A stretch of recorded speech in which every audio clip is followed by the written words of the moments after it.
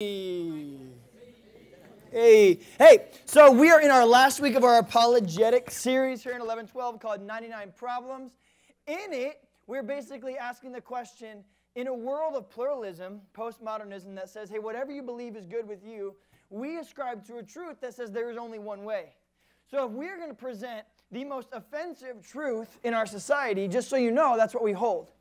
We hold one of very few belief systems in the world that says there is only one correct way to get to the Father. There's only one way to experience everlasting life. Then, if we're going to hold true to that truth, which is terribly offensive for everybody else, we need to have something to back it with outside of our argument that this experience worked for me, it could work for you too. Because if that argument holds true, then any experience that somebody has that works for them would be considered true. Now, what is truth and what is false is not based on what works for somebody, it is what evidence backs up.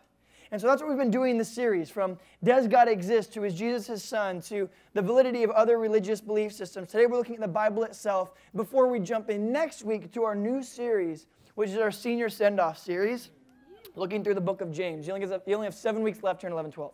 Okay, let me just blow your minds really quick. Seven weeks, then I'll never see you again. Sam, you're 18. It's like you're all my kids and all my kids grew up and married each other. It's every father's dream. Um, all right. So, this is what we're looking at. If I presented something to you, this argument, which a lot of people make, you go, well, what makes you think that the Bible is true or not true? They go, well, I don't think the Bible is true because the events in the, in the Bible are fantastical. The fact that somebody claims to have come back from the dead makes it something that I don't believe. Well, we don't base anything about what we believe based on that. That seems to be the one area that we give ourselves permission to believe something based on what we just feel like is true or not. I'll give you an example. If I told you that yesterday there was a great white shark in La Jolla and it washed up on the beach and started doing like that dance from remember the old Looney Tunes thing with the frog? It was like, "Hello, my baby. Hello, my honey." You guys know that song? So that shark comes out and does that, and, and you'd be like, What in the heck are you talking about? If I presented evidence for it, you'd go, Oh, holy cow. What would you want to know? You want to know, did other people see it? Are they credible witnesses? Was there any kind of uh, factual evidence? We would call it archaeological, but we would consider archaeological evidence to be like, did someone take a picture of it? Are there, are there things that we can look at? Are, was there a, a camera on the beach? Did someone take camera with their phone? Were they a credible witness or were they making something up? This is what we look for for evidence. And once I presented that evidence to you, no matter how fantastical the story might be, you would arrive at the conclusion that this was true because the evidence points to it. But when it comes to the Bible, when it comes to Jesus, we have this extra layer of something that prohibits us from believing because the implications of Scripture are severe. It's not just, is this book similar to another book that's trying to teach me history? This book makes implications. This book says things like, if you do not believe that he is the Christ, the Son of the living God, then you will not be able to enter into his presence after you die. If you want to follow this God, there's a lot of things that you have to sacrifice in your life. He is Lord of your life, and you are not. You can't just do whatever you want when you get married. It's not, it's not the same. You need to love people a certain way, you need to treat people a certain way. You're not like the old you anymore. You're new, and you need to act that way. Well, people don't like that. The moment you walk into a pluralistic society where anyone's truth is true for them, and you tell them their truth for themselves is not the way that God's truth is intended to be for them, they freak the heck out. There's great progressions made in, in the area of, of women's suffrage and, and women's empowerment, and it's the most beautiful thing ever. And you start looking at these things in Scripture where it says, Wives, submit to your husbands. And we go, Oh my gosh, that's terribly offensive. We don't read the next verse, which is, Husbands, love your wives as Christ loved the church and gave himself up for her. In other words, women, you submit to your husbands. Husbands, love your wife so incredibly fiercely that you would die for her at a moment's notice, because that's what Jesus did for the church both of those, those implications in his era. The fact that a man, a rabbi, told men to love women was so offensive. That's not what you did with women. You didn't love them like that. They were objectified. Men were the. So when Jesus speaks that, it's so offensive in his culture. And now today we look at the idea of, of women submitting to men and it becomes offensive for the opposite reason. In Jesus' day, it was so offensive because you would never you would never even think to love a woman like that. And now it's become so offensive because you would never tell a woman to practice submission. Do you understand why it's, offensive in both, in both cases? Now, again, that goes along with you have to read the second part in order for the first part to make sense. If you just take the first part, if a man ever quotes to you the first part and goes, submit like a godly woman ought to, you go, well, then love me like Christ loved the church. And then listen to what they say, because won't say anything, because that's hard. It's rough. I've never used that phrase because there's just, it never, you never win, okay? Just don't do it. Anyway, that's neither here nor there. That is all to say that in this culture that we live in, the book that we claim to be complete and absolute truth is offensive. So we don't take it based on what we feel. We don't prove stories based on what we think might have happened. We do it based on the evidence. So we need to present evidence for this book. There's this man named F.F. F. Bruce, who is a secular historian who writes about uh, documents preserved in antiquity, and here's what he says when it comes to the Bible. There is no body of ancient literature in the world which enjoys such a great wealth of, ex- of good uh, textual attestation as the New Testament. Attestation means to attest to something or to prove that it's true. So he says, in everything that's ever been preserved in history, nothing has such a wealth of proof as the Bible. So we're going to look at that today. In order to judge, for this first one, it's called manuscript evidence.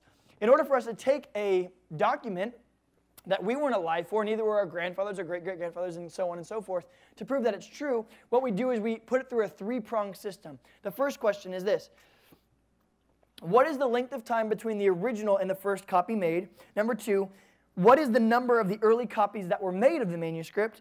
And three, this is my number is four, but it's actually number three, the variations between the copies. So let's say a crazy event happened here. Let's say all of a sudden this back wall turned to fire and through the fire, Led Zeppelin came out and started playing the greatest song in the world, just in the weirdest way possible. And, and but as as the lead singer is starting, he's like, guys, 11, 12, rock on, right? And we all would sit here and go, oh my gosh, but we didn't have video, so what would we do? Their ancient social media was to write about it. They're like, oh, you'll never believe what happened today. It was so crazy. Hashtag first century, right? So you would write, and let's say you all wanted to get this out and you wanted to tell this story. So let's say that uh, Keegan writes, and she goes, and then Led Zeppelin came to the fire, and they were all 11, 12, rock on. And Kennedy sees this exact same thing, and she writes, and then Zeppelin came to the fire, and they said, 11, 12, live on. And you're like, okay, well, which one is it? Well, we have a ton of witnesses in this room. So we look at everybody's accounts, and we know that only one person in this room thought that Led Zeppelin said live on, and it was Kennedy over here. When you look at everyone else's documents, they all say that he said to rock on. So that's the importance of having a wealth of documents and the importance of having it been written really close to the time that it actually happened. The closer you write to the actual event, let's say uh, this event happens, and what's going to happen in seven weeks, that's going to hurt uh, the account of what happened. What happens in seven weeks? Graduation. So where do our seniors go? Half this room leaves. When half this room leaves, only half of you remain. And then you're not going to get as good of an account. So it's important that documents are written close to the time that they occurred. That's the importance of having being a short period of time. And last but not least, they look at uh, the number of discrepancies between the documents. And it says right here that the Bible is accurate to the 99.5th percentile between all the texts that written in the first century, which was 5,600 of them. And all of those errors occur in you know, let's say in the Bible it says, Our Father who art in heaven, hallowed be thy name, thy kingdom come, in the Lord's Prayer in the book of Matthew. Well, let's say one out of a hundred people says, Our Father who is in heaven. We go, Oh, you messed up real bad. Right? So you go, Well, there's probably, if we have a hundred that say one thing, you know, and we have one that says the opposite, it's probably this one. Well, actually be half of a person. Because it's 99.5%. I don't know how that even works, but it is a thing, right? So you have to take more than, you can't have just 100 because you can't have half a person. You'd need more like 10,000 than you could have. You know what I'm talking about? Maddie Coleman. Good. Sounds good. So that is the way that we preserve ancient documents. So let's do a little brief um, litmus test to find out the truth or falsity of Scripture, starting with Plato. Plato writes uh, a series of texts called the Annals of Plato. The first text is written in 427 BC. For about 1,200 years, they passed on the Annals of Plato through uh, oral history. Okay? So for 1,200 years, instead of actually having the written document, we're just telling the stories of what's written in the book. I go, O'Connor, you'll never believe what Plato said. And everyone's just sharing the information around. 1,200 years later, someone goes, you know what, we should write this down. Yeah, yeah, we'll make our first copy 1,200 years after the original one was made. So you can imagine 1,200 years what has changed in the Platonic theory, right? Plato, from Plato theory. A lot of, uh, uh you don't have a lot of people writing stuff. You have a lot of oral tradition, and so it wouldn't be super accurate. And you would look at that and you'd go, yeah, in a period of 1,200 years, there's probably a lot of people who forgot something or threw something else in or translation from one generation to the next. Probably it would probably be pretty difficult. And only two copies were made. After 1,200 years, someone's like, let's make a copy of it. Let's make two. And then they got tired or something and they just stopped. But everything we know about Plato, everything we know about the allegory of the cave, everything we know about um, existentialism that was brought from all these different, these different writers is based on a document that wasn't seen or written for 1,200 years. And yet it's written in our philosophy books as absolute truth. Have you ever heard someone argue that there's no such thing as Plato? Not just the toy, but the man. You ever had anyone that didn't think he was a piece of bread that said there is no such thing as Plato? Anyone in their right mind who said Plato didn't exist? Anyone? If you ever meet someone and you say, it's like the great philosopher Plato, and they go, I don't believe he existed, you'd be like, you're dumb. Look at my book. It says that he existed. We only know Plato existed because of a document written 1,200 years after the original one that attests to what he did. That's all we know. And yet, you won't meet anyone in their right mind that goes, no just thing as Plato. Likewise, Caesar and his conquering of the entire Roman world basically through the Gallic Wars. The account of that history was written in 100 BC. It wasn't transcribed again. Another manuscript made until 980. That's a difference of 1,000 years, and there's only 10 copies made. You ever met someone who didn't believe Caesar existed? Anyone? Anyone your grandma's like, I'm really anti, what, I'm, I'm a-Caesariac. It's kind of like atheist, but you're a-Caesariac. You're like, I just don't think that he was a person. Didn't exist. All those columns in Rome that says his name on them, no. It was a hoax. Anyone think Caesar didn't exist? The ironic thing is if you took the stance that Caesar didn't exist, you would have an easier time disproving him than you would Jesus Christ.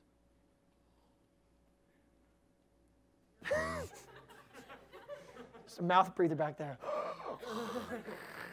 this is the best sermon ever. Aristotle. 384 BC, 1180, there's a difference of 1400 years. 40 copies are made. You, I'm going to do the same thing. And all of our documents, from Homer's Iliad to all these other things that, that we write in our textbooks as absolute fact, are so much less preserved than this book. You ever met anyone who didn't think Jesus Christ was a real person? Has anyone here not met anyone who doesn't think that Jesus Christ is a real person? Anyone here been like, everyone I've ever met knows Jesus Christ did what he said he did? You, do, no one. Everyone knows somebody. Why? Why? What's the difference? Implications are different. Here is this. It isn't it wasn't written in 427 BC, it was written in 50 AD. When did Jesus die? 33 AD. This is 17 years. We have, a, we have almost a completed New Testament 17 years after Jesus himself dies. Not a, a, period of 1,200 years, we have an entire New Testament written and 5,600 copies of it made by 130 AD. That means people who experienced it are either still living while the time it is written, most of them are still living during the time that the New Testament was completed, but even when the copies are started to be made and spread across different languages, they're either living, or their cousins are living, or their siblings are living, or their sons are living. They're all still alive that can easily, as soon as you hear something, you go, that's not how it happened. Which is why the book is so accurate. These books have almost no accuracy even in between them, even though they're written 12, 100, 1,000, 1,400 years later. Why would this have so many? Because there were so many eyewitnesses. If I wrote a book on what I thought about the world and it was lost for thousands of years, and you guys just talked about what I thought, and then you passed it down to generations, it would be very different from what I actually thought. Now, if I taught what I thought to thousands of people, it would be able to last thousands of years because they'd be able to verify with one another on what was true and what was not. Why do you think, if there was such a tradition of oral history, that people in the New Testament started writing stuff down when a lot of people that at that time period wouldn't write things down? someone comes to power in the middle of the fifth decade AD, and his name is Nero. Nero sends out an edict to kill all Christians. If I've heard the story of Jesus Christ, his life, death, and resurrection, and I want to live on past me, when the emperor wants me dead, guess what I'm going to do? Write it down. It's as if it was so perfectly preserved in history that God even used a genocide of a belief system to preserve his word. You guys better write this down. Nero's coming in hot. Nero sets Rome on fire, blames the Christians to get everyone on their side going, kill these Christians, they set Rome on fire. So you better believe that all the Christians were like, well, here's going to be our text that I keep for our family for all time. This is the account of Jesus Christ. He uses something so morbid as genocide of a belief system to preserve his word perfectly. And yet, the implications of this one causes many people to go, I don't think it actually happened. Archaeological evidence. So, what this proves to us is that the texts that we have from the first century are the same texts that we're holding today. That's what this proves right here. And they're accurate to the 99.5th percentile. And what's off on them is not big concepts, right? We're not missing a whole chunk of John that tells whether or not he came back from the dead. We're missing is it is or art in heaven? It is, gotcha, right? Is anyone's faith thrown off by that? Anyone like, well, if he art in heaven, it's different than if he is in heaven. I can't believe if he is in heaven, only if he art in heaven. Right? No one, no one says that unless you're real dumb. So, archaeological evidence. So basically what this says is, is what is in the ground in the places where they claim to have these events happen, is it accurate with what uh, the book claims versus what we're digging up?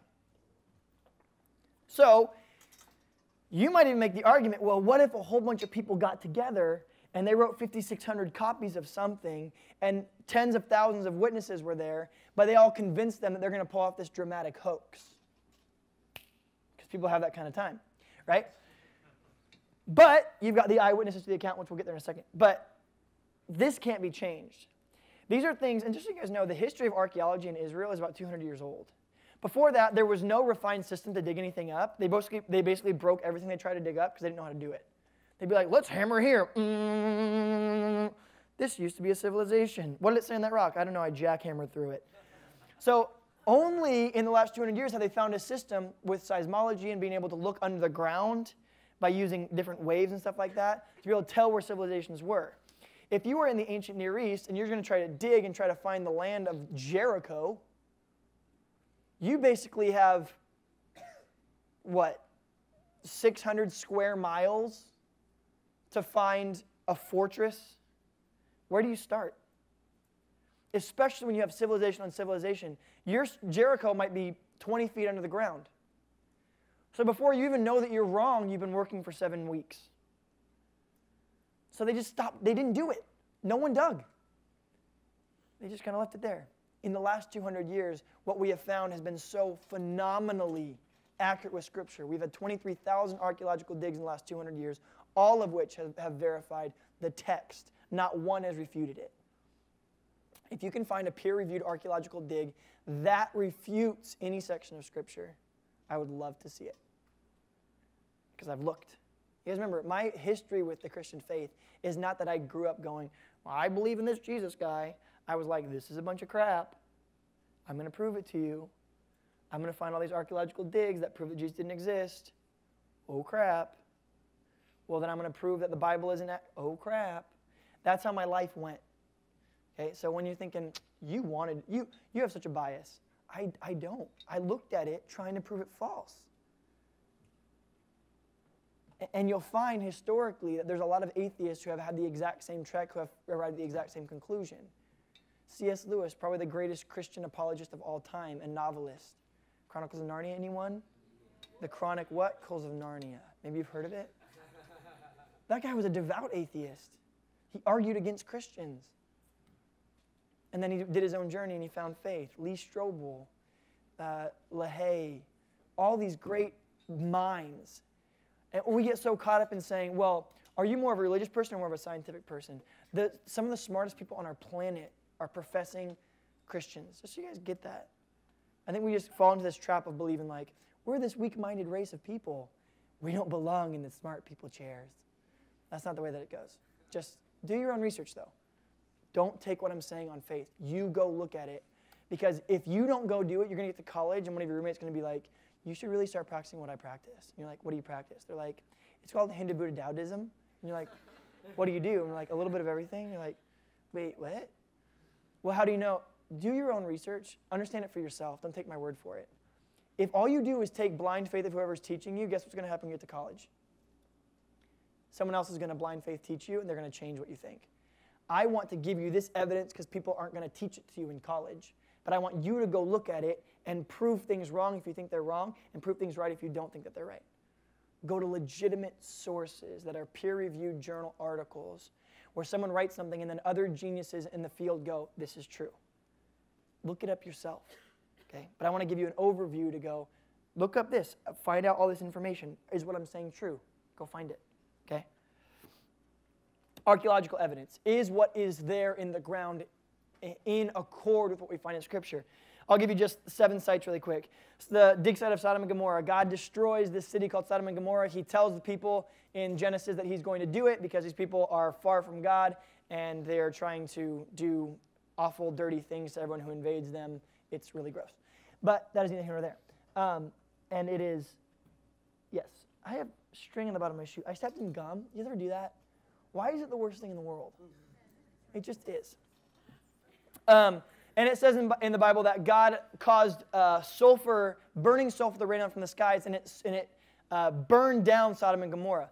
Well, you go to this place where it says Sodom and Gomorrah was. They found the place called Sodom and Gomorrah. They had to dig underneath the ground. What they found is this whole city was burned down. It wasn't burned down in a natural way of burning something down. You would go, you would put uh, it, whatever kind of a lamp or, any, or a lantern you had, and you would set something on fire, and it would burn from the bottom up to the top. That's how fire works. This town burned from the top to the bottom. And not only did it burn from the top to the bottom, it reeked of sulfur. About three feet worth of sulfur covered the town of Sodom and Gomorrah. Do you know how many other towns in the ancient Near East were burned with sulfur? Zero is an accurate answer. We also would have accepted none. Okay? None. It doesn't happen. So the Bible says there's a miraculous event where God makes sulfur rain down from the sky, burning sulfur, and it consumes the city of Sodom and Gomorrah. We dig up something that calls itself the city of Sodom and Gomorrah and is burned with sulfur. There is no system in the ancient Near East where people attack people with sulfur. It doesn't happen.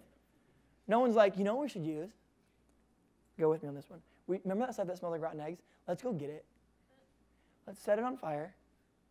And then once it's incapable of being handled by our modern weaponry, let's then throw it up in the air and just see if it'll catapult down on the people. that doesn't happen. Uh, Belshazzar is a king they didn't believe existed. Then they found his tomb. The house of David, and there's a place called Tel Dan where they were digging, and they found this whole uh, civilization. They said that there is no attestation, there is no uh, proof archaeologically for, for a man, a king named David. Well, there's a guy who writes about his conquering of the ancient Near East. He says, I took over Israel. He calls Israel the house of David. So David shows up. David shows up based on this way, way, way, way, way, way, way before people gave him credit for. They thought he was basically folklore that was made up around the turn of the BC AD changeover. We had to get a new watch. Remember that changeover? They thought that was when it happened, but that's not when it happened. This is putting it back where Scripture puts it, thousands of years before that. City of Jericho. You go into the land of Jericho, you're going to find the city of Jericho. And the city of Jericho has fortified walls. The walls of Jericho, and the walls came tumbling down. They're huge walls. The Israelites were told to march around them on the seventh day to march around seven times, and then have your trumpets blow their horns and one long blast. And it says, I'm going to make all the walls just fall down. So you go to almost any dig site in the ancient Near East, and you're going to find that when a city was overtaken, that their walls all caved which way? In or out? In. Why would a wall cave in? Because if I wanted to take down your wall, I wouldn't put a little latching hook, throw it into your wall, and be like, let's pull the wall down. No, it's brute strength. They would take a trebuchet, they would take a catapult, and they would throw crap at the wall, and it would fall inward. There is one site where the walls fall outward. It's Jericho. Happens to be the only site that it's claimed in Scripture that the walls fell outward and they actually fall outward. This is probably more mind blowing than that. There is a woman who lives in the wall of Jericho itself. In Scripture, it calls her Rahab. Rahab is a prostitute who, when spies come into the city of Jericho, she takes them in from Israel and she goes, I've heard of what your God can do. I'll tell you this I'm not about to kill you guys or give you up. But when you come and conquer Jericho, will you spare me and my family? And he says, Yes, we will. You go to Jericho dig site, there is one section of the wall that remains. One section. And it's got a little house inside of it. Just go, go look it up yourself. You're like, that's unbelievable. Don't take things based on their believability, take it on the evidence. Go look at the evidence of the dig site of Jericho. The walls fell outward. There is one part of the wall that remains. Okay? Not only that, when they say take the, take the city of Jericho, what does God command them to not do after they've taken the city of Jericho? Don't plunder it. Don't take anything.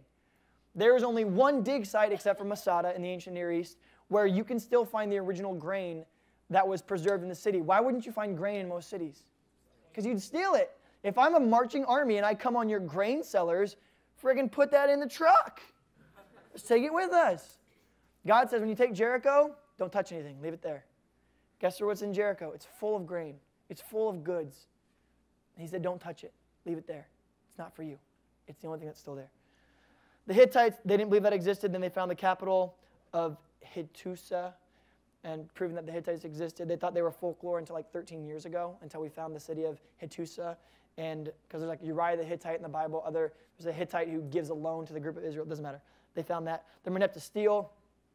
They said that Israelites came out of folklore basically around the 5th century BC. Uh, the Merneptah stele is a, uh, is a document that's written thousands of years ahead of that that talks about the city of Israel that lived in the land of Canaan. So this, this other document says we have a bunch of foes that we want to take over, not the least of which is a group called Israel. Is they were a formidable foe, formidable enough to be mentioned by this ancient text, and it talks about where they live, which is the land of Canaan, which is the promised land, which is what the Bible where the Bible says that they live. So anyone who goes, well, they sprang out of folklore in the middle of the fifth century BC, that's not true. They were attested to thousands of years before that with outside sources, not the least of which is an Egyptian source. And the, the Cyrus cylinder. So there's a man named Cyrus the Great in the book of uh, Jeremiah, Nehemiah, all those other things. The Israelites are captured by the Persians, as it says in Scripture. And then um, in the middle of their captivity, a man named Nehemiah begs the king at the time to go and rebuild the walls of, Jer- the walls of Jericho, the walls of Israel to rebuild temp- their temple and everything else like that. Well, this Persian king Cyrus goes, That's a great idea. We'll let you guys go our captives. In Scripture, it says that the Lord softened his heart, and the Lord is the one who caused him to let them go back. And he says, You go rebuild your city. That's totally fine with me. And then to show how amicable was, he was, he would write down on these clay pots all of his victories. And on one of them, which we found, he talks about when he let the Israelites go because their God had commanded him to let them go rebuild their city. So, whatever you want to believe, there was a king at the exact same time named Cyrus who wrote in a cylinder that at the exact same time period that the scripture says that the Jews went and rebuilt the walls, there was at least our minimalist fact is that there was a group of people who believed that they were spoken to by God enough that they set captives free that they could go rebuild their own nation that could possibly overtake Persia later on. That's all you have to believe. That's, that's what the evidence shows. Now, if you believe it was divine or not, you still have to come up with an answer for why a king would let his slave force go to go rebuild their society to possibly take him back over when he claims God told him to. Cyrus Cylinder. The eyewitness accounts, we talked about that already. Uh, a lot of people, you'd believe in a hoax, you'd like to perpetuate a hoax, right? Like if I was like, oh man, uh, the other day there was like this shark at the beach and it did this thing and you'd be like, no, it didn't. And I was like, oh, no, for real, it did. And you brought out a shotgun, and you're like, no, it didn't. I'd go, frick, oh, okay, I was just messing. You kidding me? Why? Why would I change my tune? I would change my tune because it's not worth it. There is no documented case of a first century Christian repealing their story. Twelve disciples are martyred. You'd be like, what was the 11? No, well, first, yeah, they, they got a new disciple. What was the new disciple's name? Yeah, good. 10 points for Gryffindor. And then who becomes an apostle later on? Paul. How many apostles are there then? 14 in total, 13 surviving. Paul is executed by Nero. Good. In Nero Circus. Eyewitness accounts, all of them, they have one thing in common. They all told the same story. This guy died. I saw him after he died. That's what they were called to refute. That was the only thing they were called to refute. Just say you didn't see him again after he died. They wouldn't do it. All of them martyred, thousands martyred in this time period, none of which recanted their story. Uh, number four, corroborations of, of hostility. That means there are people who hated Christ that talked about him. They hated this movement of Christians that spoke all about the Bible and all about this guy. Uh, I'll give you one example. There's a man named Lucian. Uh, Lucian writes this. He says, The Christians, you know, worship a man to this day, the distinguished personage who introduced their novel rites and was crucified on that account. You see, these misguided creatures start with the general conviction that they are immortal for all time, which explains their general contempt of death and voluntary self devotion, which are so common among them. And then it was impressed on them by their original lawgiver that they are all brothers from the moment they are converted and deny the gods of Greece and worship the crucified sage and live after his laws. All this they take quite on faith, with the result that they despise all worldly goods alike, regarding them as merely common property. So he goes, These freaks, first of all, think they're going to live forever, which explains why they keep letting themselves die. Secondly, as soon as they're converted, they consider each other brothers and sisters which is why they're taking care of each other. In fact, they take care of each other so well that they consider everything that they have to be common goods. Which sounds a lot like Luke, I mean, Acts chapter 2, where it says that they continued giving to one another as they had need, and the church of God exploded. Not, it didn't stop being, it got bigger. Exploding can mean two things, you know, like, oh man, he started that and then it blew up. That could mean, it could even mean it stopped or it blew up. Anyway, okay. Lucian writes a book that common historians use. He wrote this book called How to Write History. He stresses the impartiality, detachment, and rigorous devotion to truth that must characterize an ideal historian. That is Lucian's book that common historians still use to write history correctly. And here's what Lucian, this guy who is so anal retentive to getting the truth right, writes about Jesus and his followers that seem to have a contempt of death.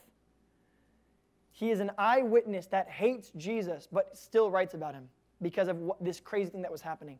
Tacitus also talks about this movement that was brought up from this Galilean named Jesus. He says, and then it, it reaches a fever pitch. He says, but then the movement died for a couple days. He says, but then after a couple days, it came back stronger, and we don't know why. It's as if this guy claimed to be the God himself, but then they killed him. But then he was seen again, and the rebellion started all over again. So Tacitus writes about. He hates Jesus. Read his, read his annals. This guy's an angry man. Does not like Jesus at all. Prophecy. Okay, the events that took place, the events that were recorded 1,500 years before it happened, 2,000 years before it happened, actually happened. We have uh, verification of these different things. We, know, we have documents that are dated at 2000 BC, copies of the Old Testament, which talk about this Jesus, and then we have attestation of what Jesus actually did, which means you couldn't have changed the lettering of the prophecy. The prophecy was already written in stone, per se, and verified with thousands of copies before you could ever have changed it. So we know that the prophecies remain the same, and we know that Jesus fulfilled them. This guy named Stoner, which is a funny name, decided he was going to give a probable chance for how one man could fulfill all 300 prophecies. But the number was so big that he changed the number from 300, which is how many prophecies there are in Scripture about Jesus, to eight. So let's just take eight prophecies, and eight prophecies that Jesus couldn't have fulfilled because he knew them, right? For instance, if Jesus knew that he was supposed to, it says like before a, a, a, before a sheep before his shearers is silent, so the Lamb of God will be before his accusers. Well, when Jesus was put on trial, guess what he did? He didn't say anything. Well, you go, well, if he knew the prophecy, he would have just kept his mouth shut. I'll give you that one. So let's take eight of them that he couldn't have changed. Like one of the prophecies of the eight is he was born in Bethlehem. Any of you have a saying where you were born? Any of you were like, I want to be born in Fallbrook? I mean, I'm not saying that that's where you want to be born, but you know. So it, the different prophecies that he uses to do his number system is that he would be from the house and line of David. He'd be born in Bethlehem that he would be betrayed and crucified for 30 pieces of silver. And he let his class, who was trying to disprove that Jesus fulfilled these prophecies, he let them come up with the numbers. So you can imagine that they came up with conservatively low numbers. For instance, he said, What are the odds that Jesus would be? Uh, I told some of this after the last service. What are the odds that a man, anyone in the world, even to this day, has ridden through the east gate of Jerusalem on a donkey, getting praised by the people waving palm branches. If I made you do that number, uh, in history, one out of how many people do you think that's happened to? One? Five, maybe? Other warriors? Let's say five in the history of mankind. How many people have ever lived?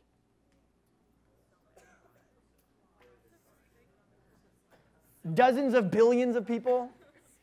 Here's a number that they came up with one in 1,200. They said about 1 in 1,200 people that could happen to them. So this, this teacher said, okay, you can use that number. You can use terribly low numbers that are actually irresponsible. Like, what the frick is that? you know, like it, one of them was that he would be born in Bethlehem. What history of the, of the world's population do you think has been born in Bethlehem? A thousandth of a hundredth of a percent? They said about, about one in every 100,000 people are born in Bethlehem. But he said, fine, take those numbers that you just came up with, your ridiculously stupid numbers, and still do the math that eight of those, which we know are true, that we've proven, that eight of those came true. So how do you do that math? Well, what percentage of one in how many people in America are redheads? One in 50. One in 50 United States of Americans are redheads. What percentage of Americans uh, have lost a finger? One in a thousand. You've been to more than one service. All right. So, what are the odds of running into someone who has red hair and has lost a finger? One in 50,000. So, you have to multiply their ratios together. So, they took those eight with ridiculously conservative numbers that have been proven that Jesus couldn't have chosen to do and has come true, and we have attestation for it. And the probability of that happening is 1 in 10 to the 17th power. To give you an idea of that number, this is what you can do. You take 1 times 10 to the 17th quarters, and you put them on the face of Texas. You can cover the whole surface of Texas two feet deep with quarters. So, two feet, how many quarters is that? A lot of quarters. And you do that two feet over the whole surface of Texas. Now, here's what you do you blindfold your friend and you tell him to walk over every last quarter. First of all, it takes them five million years to do this. Just, I did the math. It, take, it would take you five million years to walk the surface of Texas. 270,000 square miles. Walking at 25 miles a day takes you five million years to do this. BT dubs. Thank you. That took me a long time to do that math. And not one service has cared yet. Okay. Thank you. Thank you. Please, please.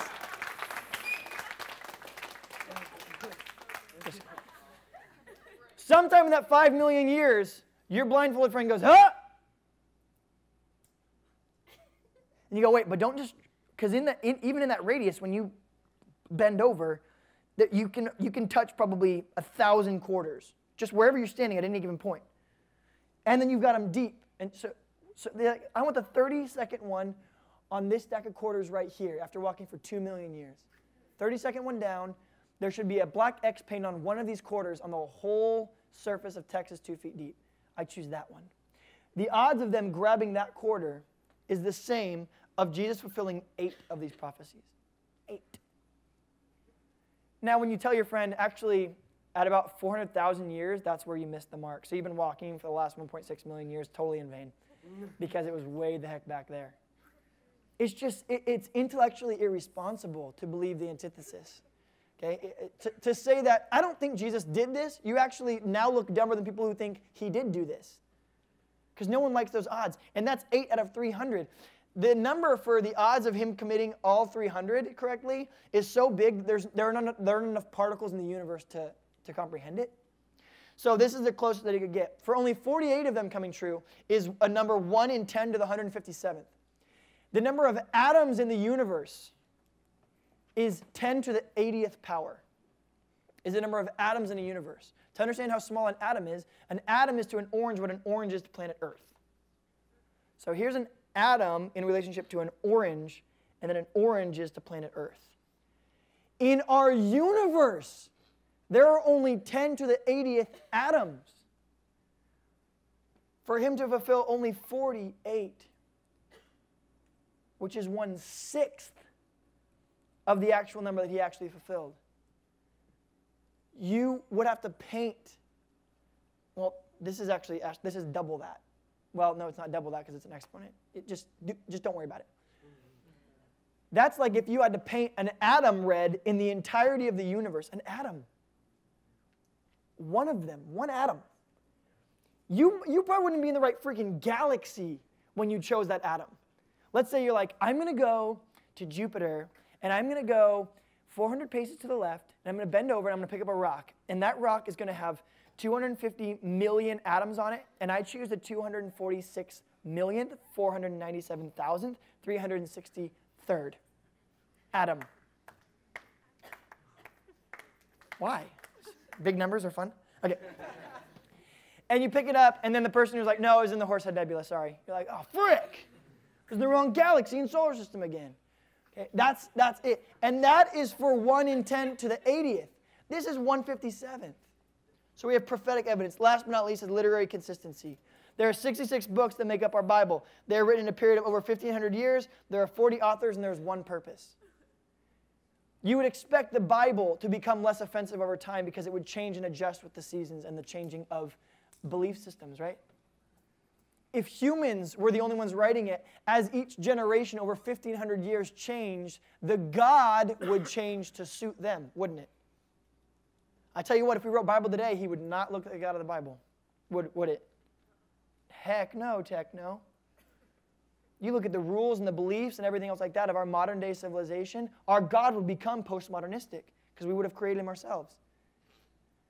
The reason that different people on different continents who have never met each other are speaking of the same set of characteristics of the same God, even though they don't speak their similar language or ever met each other, but they all line up when you put them in one congruent 66 book text, is because you would expect that from a perfect God who has revealed himself perfectly to his people. A consistent God who reveals himself clearly to people would have a consistent message all throughout his text. And that consistent message from the beginning of Genesis to the end of Revelation is You screwed up, but I have fixed it. And you would expect that as I start to write in the third century, and you wrote in the eighth century BC, and you wrote in the third century BC, that we would all put our little biases in it and say, This is how God sees things today to fit my needs. But every generation has found this God to be offensive because this God's character is immutable and never changing. And now, next week, we get to dive into the first part of our seven week series of our senior send off. As we open this book that is the most attested, recognized, authentic book that has killed more people in the history of the world than any other text, that has saved the lives of more people than any other text, that has been used to justify slavery. It has been used to free slaves. It has been used for a number of different things, depending on whose hands it's in.